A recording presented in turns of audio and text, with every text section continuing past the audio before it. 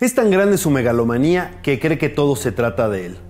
Soy Fernando Belaunzarán. Las mujeres tienen razones de sobra para estar indignadas, pero para López Obrador, quienes se manifiestan por sus derechos y exigen al partido oficial no postular para gobernador a un presunto violador, están manipuladas con el propósito de dañarlo políticamente. Aunque ningún gobernante en México ha concentrado tanto poder en este siglo, él siempre asegura ser la víctima para no asumir responsabilidades y culpar a otros de los problemas que se comprometió a resolver y que no dejan de agravarse. Sostener que las feministas carecen de autonomía y son utilizadas por intereses ajenos a su movimiento es misoginia explícita. Y lo peor de todo es que el mandatario cierra los ojos a la inadmisible realidad de un país en el que asesinan a 10 mujeres al día, donde se abrieron 16.555 carpetas de investigación por violación en 2020, siendo que solo una de cada cinco se denuncian y la violencia doméstica se disparó con el confinamiento. En lugar de ser empático y escucharlas para trabajar en soluciones, el presidente descalificó la movilización porque no llenaron la plancha en plena pandemia y por las acciones violentas de un grupo reducido de manifestantes. No se da cuenta que lejos de prevenir la violencia, quien más exacerbó los ánimos y calentó la marcha fue él.